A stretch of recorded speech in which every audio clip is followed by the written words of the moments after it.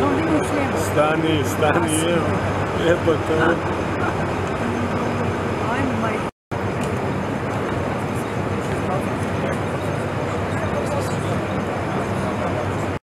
I zamjenika župana gospodina Demetlike sa gradonačelnikom Opatije, dva načelnika općine Mošenička, Draga i Lovran. U trenutku je preko 2 km tunela iskopano i očekujemo kroz godinu dana spajanje, probijanje tunela u cijelosti. Ove godine sve proceduralne stvari da će biti gotove, to uključuje i Europsku komisiju.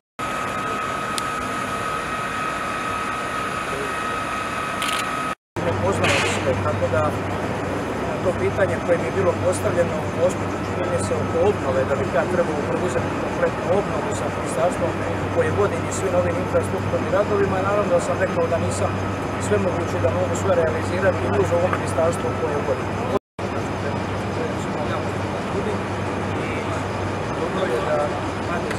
I svakoj drugoj stranci pristupanju ljudi koji su neznani to znači, da vjeruju u.